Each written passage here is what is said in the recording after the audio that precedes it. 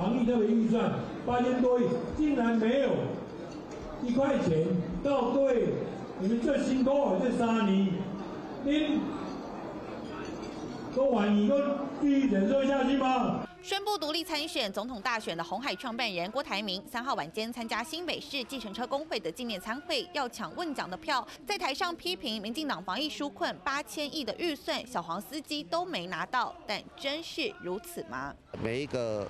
就是车辆跟驾驶者去做申请的，所以没有这个问题。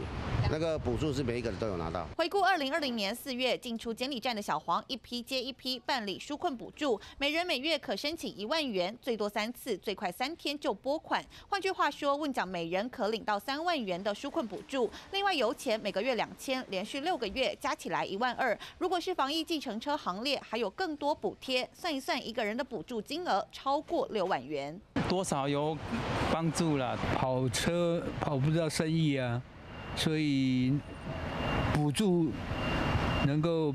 比较好一点时间来到二零二二年六月，疫情高峰虽过，但依旧严重影响计程车运量。交通部协助渡过难关，研拟补贴方案，每辆计程车防疫物资补贴一人五千元，两波补助算下来就有七十六亿。另外还有交通部、各县市府交通局疫情期间不停加码，种种证据一再打脸郭台铭大放厥词，却非事实。三立新闻，干汉人手 S N 小组台北采访报道。